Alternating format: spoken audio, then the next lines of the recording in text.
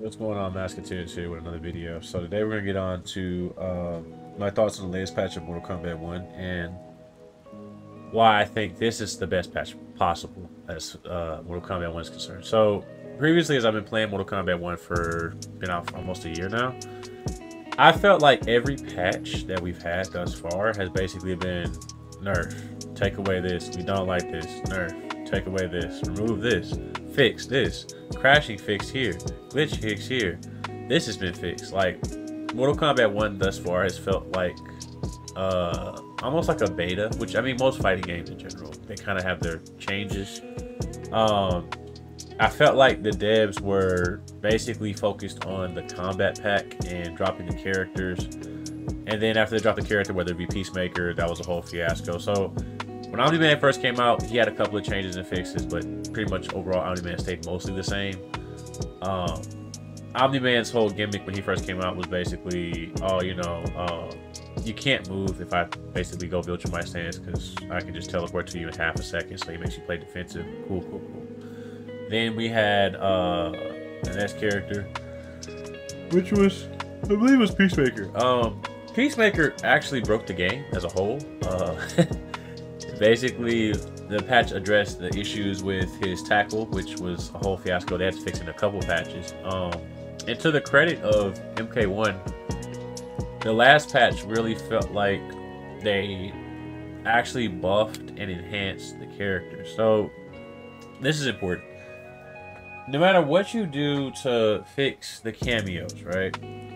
Cameos, I don't feel like were the biggest issue. People were complaining about cameos, and yes, I was there season one with Cyrax was literally killing the game and choking it with the stronghold of the little spinny tornado blades. I was there for that. Um, but I felt like the worst part of MK1 as a whole was people felt that the characters themselves were very underpowered. Obviously, I play Sub Zero, and when I'm playing Sub Zero, it feels like you're almost gambling to get in, if that makes sense. Like, I'm basically having to stagger and hit you and pray that you mash just to open you up in most cases, um, or get a knockdown. If I don't get a knockdown, half meter, or you pre don't press a button, the game becomes very slow, and I mean very slow because the without the actual cameo, the cameo is like his entire offense because his base offense is just let's be honest, it's terrible. Uh, his game plan to get in is absolutely awful. Um, but like I said, I'll give them credit that this last patch actually brought hope into the future of MK1 and I want to say that the, the timing of the patch was important too. So MK1 knew that basically uh, all the other fighting games have been dropping mad characters, mad updates, but also it's the end of the year for Kombat Pack 1. And it was smart of them to drop this really good patch near the end of Kombat Pack 1 to say, hey guys, look at what we gave you, etc. And they know that based off the momentum of this patch, people will be very incentivized to buy Kombat Pack 2, right? Um, so, like I said, buffing the base character is important because of the simple fact, if you don't buff the base character, right? Most people that play fighting games, they're not used to tag fighters. That's another thing. The reason that people had a whole issue with the cameo system is because you basically turn like Mortal Kombat into a tag-based game.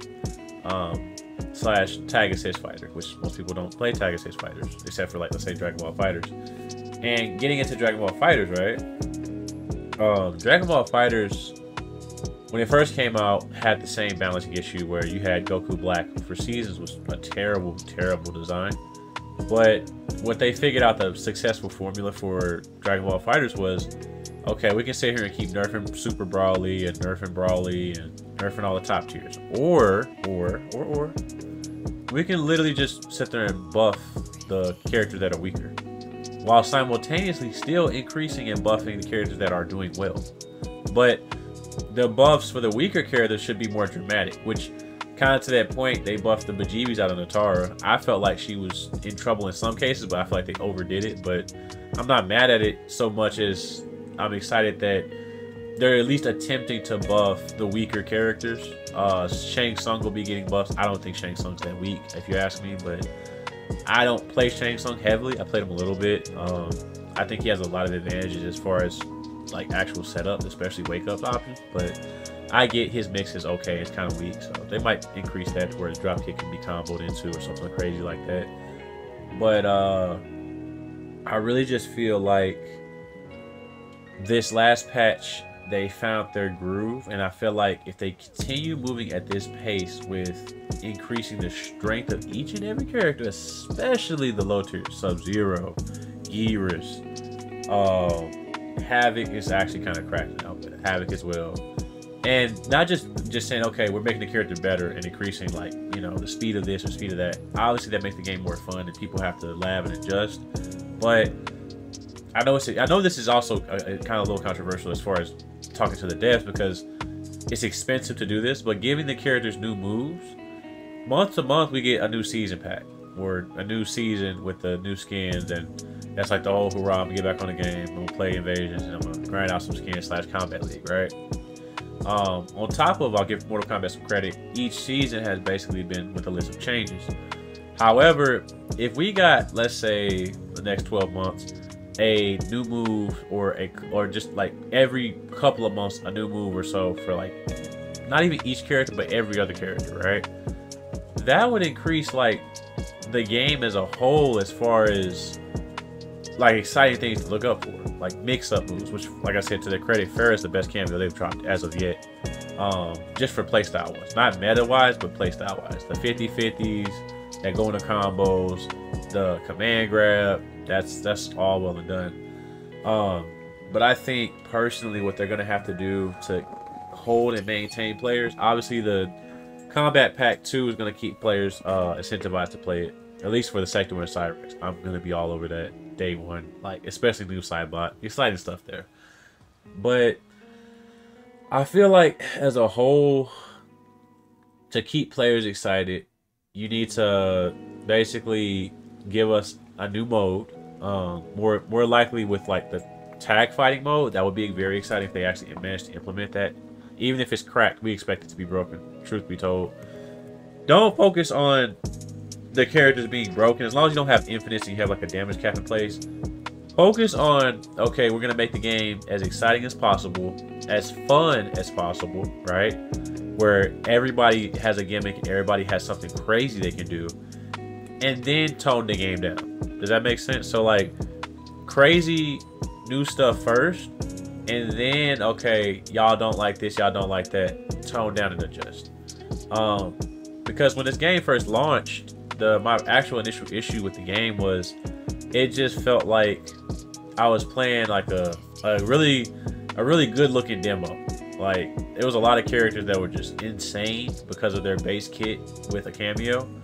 And that's part of the thing I like about this patch was when you boost the base character strength of the character, the game is overall more fun because let's be honest, people don't like cameos. Cameos are just like a icing on the cake type of deal. But if you don't have no cake, you just got all like icing. You know what I'm saying? It's not a good balance. And to my point is why we should buff the weaker characters and really focus on giving the top tiers a little bit of juice just so again because everybody wants to enjoy and have fun with the game if a character is better, for example, let's say I'm fighting uh, Johnny Cage, right? Because everybody obviously knows who Johnny Cage is. And I'm playing Sub Zero, right? If we use the same cameo, Johnny Cage can basically beat down and use whoever he wants to. So Johnny Cage players, I see why they play Johnny Cage. It's not that obviously he just gets an easy win. I can use Johnny Cage with any cameo and be good. Uh, I can't say the same thing with Sub Zero because Sub Zero has a list of rules, whether it be meter, staggering, uh, situationally mixing them up, hard knockdown. There's a lot of more factors I have to include with Sub Zero. Like when I'm playing Sub Zero, it's like, do I have a cameo? Do I have meter? There's so many more factors I have to worry about. Where Johnny Cage is literally just punch, punch, punch, punch, punch, kick, punch, punch, punch, punch, punch, stop, safe, grab. He's literally just kind of like Disco Disco Revolution having fun with you, right? And with Sub Zero, it's like you have to you're sweating internally playing him. Uh, because I I still can't explain to you all what Sub Zero's really advantage is. I've tried to lab him and be like, well, Sub Zero's a zoner. But the problem is maybe they just intended for him to be the worst zoner in the game because people say that Shang Tsung's weak, but he can easily outzone me. Um, I can't think of one character that I that can't outzone me. Havik can outzone me. Uh, Sindel obviously can outzone me. So it begs the question: Are they going to improve slash change Sub Zero into a zoner? Are we going to commit to that, or is he a trap character? Because if he's a trap character, they should not be just metering sliding through the clone and basically bogarting through like the clone. Like the clone stops people for half a second, and that was something else I wanted to touch up on. They should just probably give us a longer clone, or just reduce the cooldown to back to what it was. Uh, because the clone as of right now is just it's honestly a, a joke for real for real. and the slide he has is that's not no. it either needs to be faster or actually have more juggle potential because as its base form I have to use meter just to juggle use it's insane. It's, it's actually insane. But like I said, I'm not gonna rant too long. This has been Masketeers and my thoughts on the new patch as a whole. Till next time, peace.